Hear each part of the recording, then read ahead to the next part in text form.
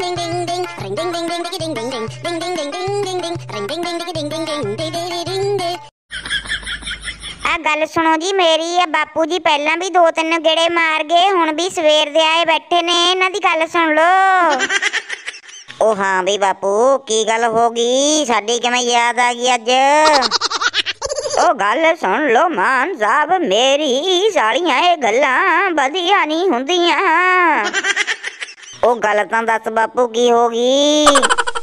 ਓਏ ਹੋਣਾ ਕੀ ਆ?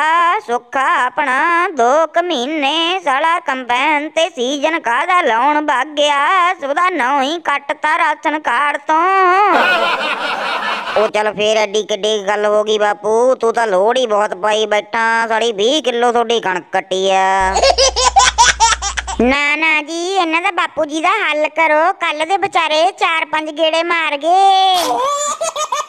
ਉਹ ਤੂੰ ਬਸ ਕਰ ਭਾਗਵਾਨੇ ਤੈਨੂੰ ਪਤਾ ਨਹੀਂ ਕੁਛ, ਤੂੰ ਹਲੇ ਨਵੀਂ ਆਈ ਆ, ਹਲੇ ਤਾਂ ਸੁੱਕੇ ਦਾ ਨਾਂ ਕੱਟਿਆ ਗਿਆ, ਨਾਂ ਤਾਂ ਸਾਲੇ ਹੋਰ ਬਹੁਤ ਕੱਟਣੇ ਨੇ ਹਲੇ।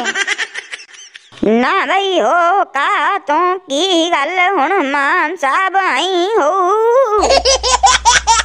ਨਾ ਕੀ ਗੱਲ ਹੋ ਗਈ? ਸਾਨੂੰ ਤਾਂ ਸਾਲੀ 2 ਰੁਪਏ ਵਾਲੀ ਮਿਲਦੀ ਆ। ਮਿੰਦੇ ਨੂੰ ਅਰ ਜੀਤੇ ਨੂੰ ਫਰੀ ਵਾਲੀ ਮਿਲਦੀ ਆ। ਉਹਨਾਂ ਦਾ ਤਾਂ ਕਿਸੇ ਨੇ ਨੌ ਨਹੀਂ ਕੱਟਿਆ। ਉਹ ਕੋਈ ਗੱਲ ਨਹੀਂ ਬਾਪੂ, ਤੂੰ ਸਮਝਿਆ ਨਹੀਂ। ਉਹ ਸਾਈਕਲ ਤੇ ਲੈਣ ਜਾਂਦੇ ਹੋਣਗੇ ਹਲੇ। ਤੂੰ ਜਾਨਾ ਗੱਡੀ 'ਚ, ਤੂੰ ਬਸ ਨਿਗਾਹ ਤੇ ਚੜ ਗਿਆ।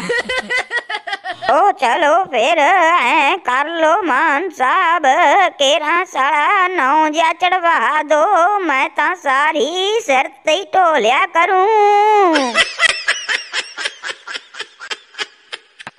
Subscribe now and press the bell icon.